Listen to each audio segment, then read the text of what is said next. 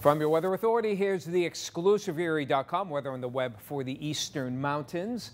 We'll have some humid conditions for today, some scattered showers and storms, temperatures into the upper 70s. For tonight, we'll have a chance of some scattered showers as well, and a little cooler, lows dropping into the mid 50s. For tomorrow, maybe a morning shower, but primarily partly to mostly sunny.